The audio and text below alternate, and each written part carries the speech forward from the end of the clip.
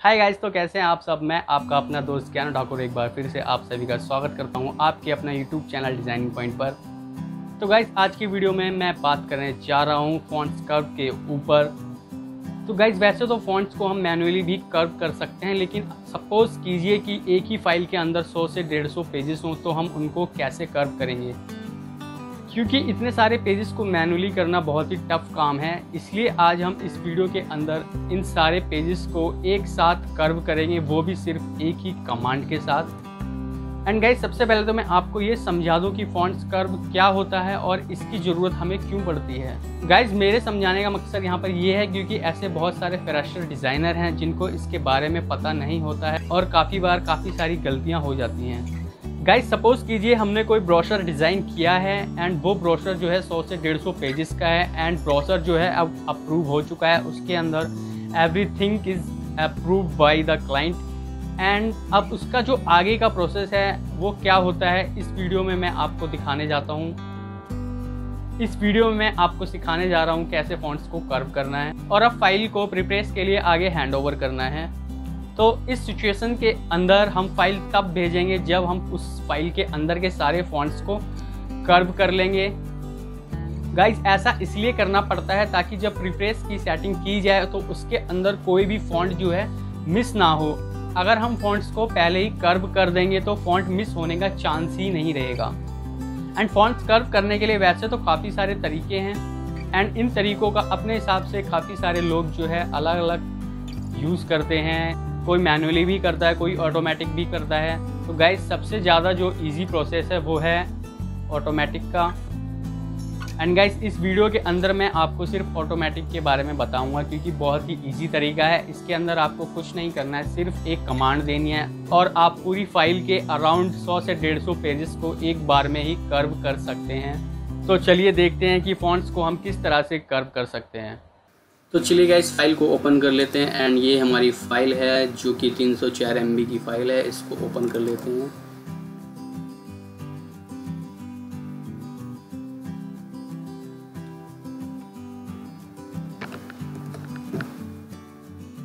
तो गाइस यहाँ पर हमारी फ़ाइल जो है ओपन हो चुकी है। अब हम इसके अंदर टैक्स चेक कर लेते हैं। टैक्स स्टेटिक्स में जाएँगे यहाँ पर। ये देखिए, इसके अंदर काफ़ी सारे जो हैं टेक्स्ट हैं अभी, और अब हम इनको जो है कर्व करेंगे। तो सबसे पहले हम जाएँगे विंडो के अंदर टूल बार्स में मैक्रोस में मैक्रोस को यहाँ से स्टार्ट करेंगे। एंड अब हम यहाँ पर कन्वर्ट ऑल कर्व पर क्लिक कर देंगे। और इसको करेंगे रन अब ये यहाँ पर दिखा रहा है कि हमें किस तरह से कर्व करना है, इसके अंदर टैक्स शेप जो कि टैक्स ग्रुप और पावर क्लिप में वो भी कर्व हो जाएँगे। और पेज नंबर एक से लेके पेज नंबर छियानवे तक के सारे फॉन्ट जो है कर्व हो जाएँगे। अब हम इसको यहाँ से कन्वर्ट कर देंगे।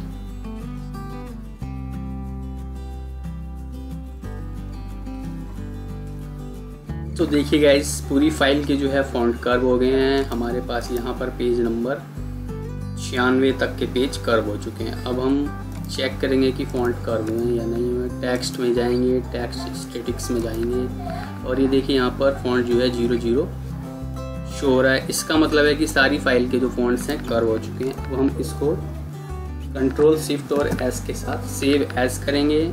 और यहाँ पर हम इसका वर्जन भी कम कर सकते हैं। वर्जन चलिए हम यहाँ पर सत्रह कर देते हैं। और यहाँ पर फ़ाइल का नाम हम curve font file four three pace करके इसको सेव कर देते हैं।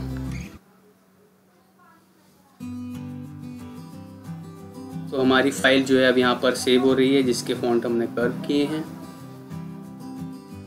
तो गाइज़ ये था आसान सा तरीका, जिसको यूज़ करके हम पूरी फ़ाइल के फॉन्ट कर्व कर सकते हैं। इसमें हमें मैन्युअली काम नहीं करना है, सिर्फ़ एक कमांड का यूज़ करना है और पूरी फ़ाइल कर्व